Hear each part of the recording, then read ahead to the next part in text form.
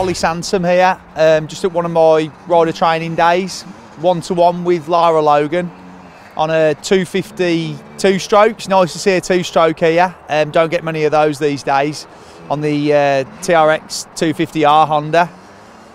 Um, PEP suspension, which I like to see. Um, we've we've what we've basically done is we've got to come out today first of all and let her learn the track um, so that when she we made the changes in the workshop I'm just waiting for her to come through the whoops now. So she's just coming through the whoops now and then over the scrub.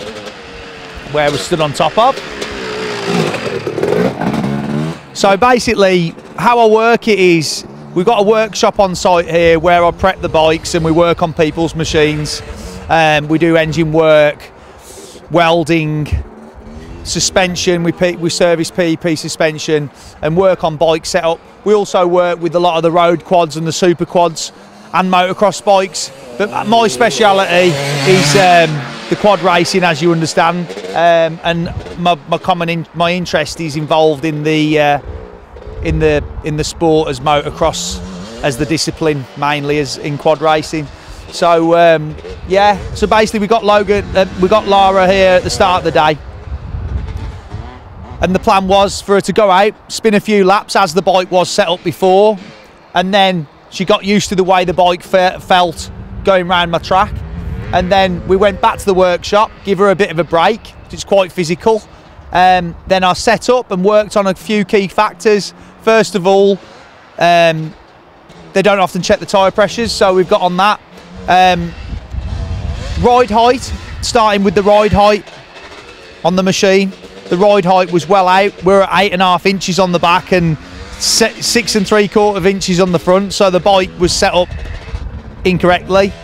I've set the bike up properly uh, for the ride height, so now the suspension's set correctly with the ride height, how I would personally set it. Tyre pressures, ride height. Then we went to the camber. The camber was out, so we've set the camber, and then we've set the uh, the tracking. So now the bike was balanced and everything's tracked up, set up right, ride height, suspension set up right. We softened the shocks up a little bit because it was very, very uh, stiff for her weight. Set the rebound as and where we can on the rear shock because the fronts didn't have adjustability.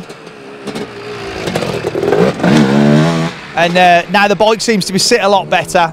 Um, wait to see what Lara has to say after, uh, but it seems to look a lot more comfortable. So before we did any rider training, I got her on the. We want to get the bike set up right so that she's comfortable on the bike. The handlebars were weren't where she wanted them, so I've set the handlebars and thus the levers also where she feels comfortable.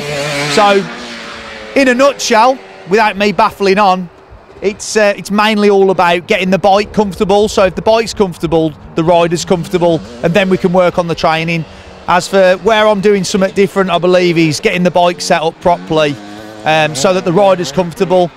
You're not going to be able to change someone's riding in one day, but what I can change is to my ability and my knowledge is to get the bike set up so that she or he is comfortable on their machine, and then we can work from there.